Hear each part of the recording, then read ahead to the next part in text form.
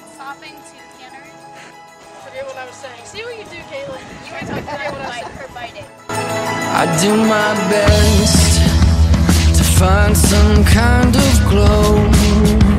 I'm giving it some heart and soul now. From the darkest grace, the sun bursts, clouds break. Yeah.